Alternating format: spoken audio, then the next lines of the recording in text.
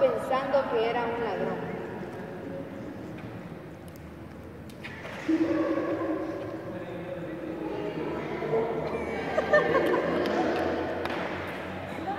Lo pigió.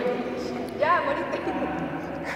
Róbate la corona. siguiente- al día siguiente, al ser anunciada su muerte, el pueblo, pensando que Edipo había matado al ladrón que tanto aterrori- aterrorizaba al pueblo, decidieron convertirlo en rey